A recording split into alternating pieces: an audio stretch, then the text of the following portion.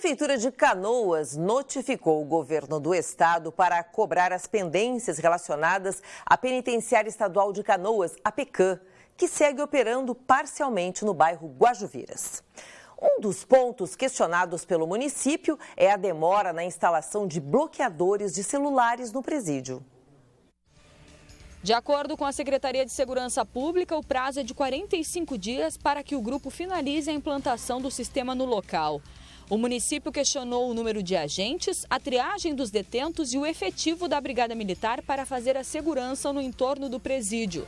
O órgão estadual afirmou que cerca de 300 servidores da SUSEP deslocados para trabalhar no local são suficientes para a execução dos trabalhos. De acordo com a secretaria, a ocupação total da penitenciária está em fase inicial e os presos estão sendo selecionados de acordo com o planejamento da superintendência.